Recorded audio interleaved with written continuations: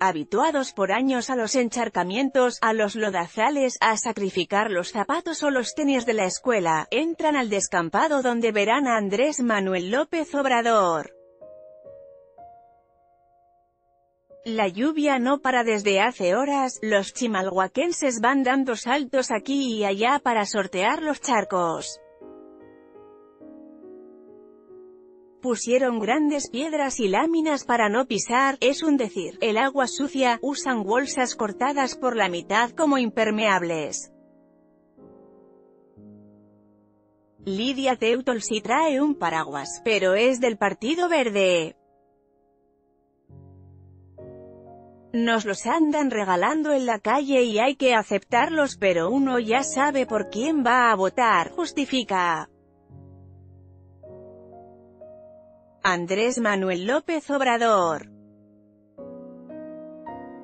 Foto, AFPA dentro del Deportivo La Lagunilla, a 10 minutos del Palacio Municipal, andando entre puestos de tacos, hamburguesas, elotes y alitas a la barbecue, están los pobladores del sexto municipio mexiquense más pobre, según el Coneval.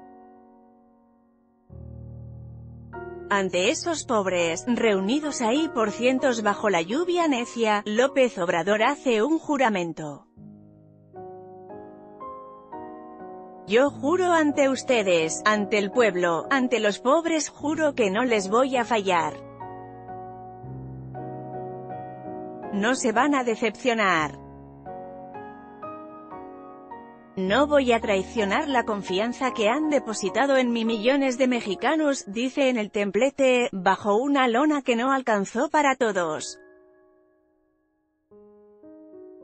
Estamos a 15 días de que termine la campaña y el ánimo de la gente está creciendo como si fuera a estallar de felicidad.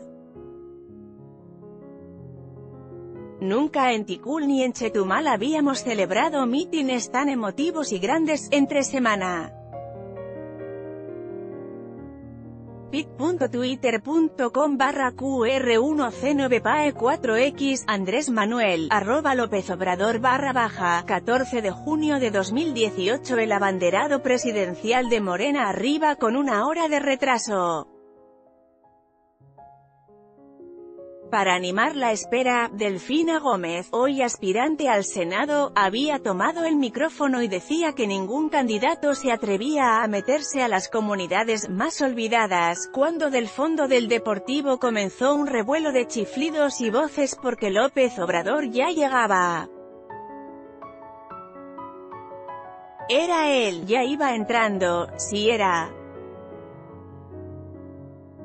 y rompió el griterío y ya nadie escuchó a Delfina. Sí es cierto, nadie viene, confirmaba una mujer mientras veía al candidato caminar a prisa bajo la lluvia. ¿Cuál es el principal problema de Chimalhuacán? Dicen, la inseguridad, los feminicidios, que no hay pavimentación, no hay medicinas en las clínicas, no hay escuelas, no hay trabajo.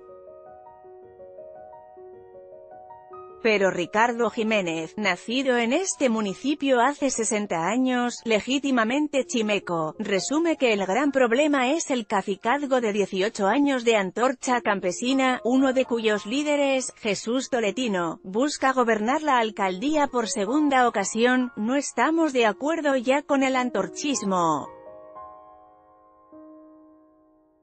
Antorcha no le ha dado nada a Chimalhuacán, Chimalhuacán es el que mantiene a Antorcha con el presupuesto del erario, afirma. Ante el cacicazgo antorchista, una organización corporativa del PRI, en este municipio se aliaron el PAN, ERD, MC, Morena, Encuentro Social y el PT para formar un bloque opositor. Entre el gentío, la coordinación de esa alianza repartió folletos en los que acusa a Antorcha de amedrentar con armas de fuego a militantes que hacen proselitismo contra el PRI. Los expulsan de las comunidades con lujo de violencia, ya que presumen la propiedad del territorio, señalaban los volantes. Incluso, Dionisio Díaz, candidato morenista a la presidencia municipal, calificó a Antorcha como una organización paramilitar. El pueblo de Chimalhuacán ha estado en la lucha desde hace muchos años. En todos los municipios de alrededor ha habido transición, solamente en Chimalhuacán no hemos podido ganar la presidencia municipal.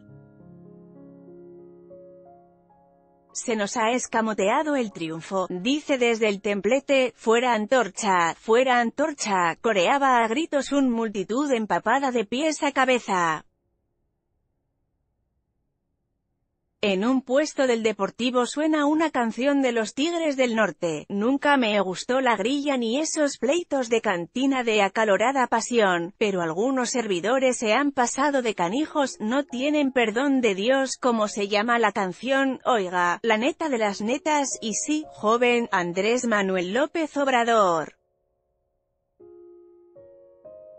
Foto, Reforma Erez González relata que fue despedida de la Dirección de Salud Municipal por rechazar asistir a las movilizaciones de apoyo a Antorcha ordenadas por la alcaldesa Rosalba Pineda. Puede ser tu día de descanso.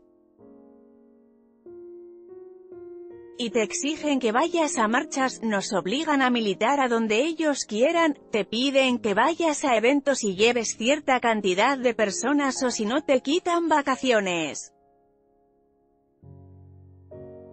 En febrero me despidieron por no asistir a sus marchas sin liquidación, acusa.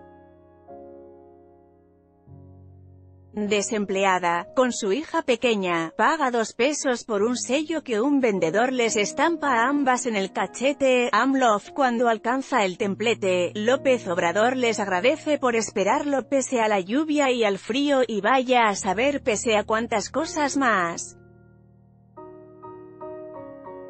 Solo ellos, que lo padecen, lo saben, amor con amor se paga, les dice el abanderado de Juntos Haremos Historia. López Obrador menciona que se aplicará en todo el país el programa de pensión para adultos mayores. Pero ese apoyo lo dan a los 65 años, lamenta una señora. ¿Y tú cuántos tienes? Le preguntan. Menos 55, ya te faltan 10, a ver si llego, si llegas, la animan. En esta nota, elecciones 2018 Andrés Manuel López Obrador a MLO.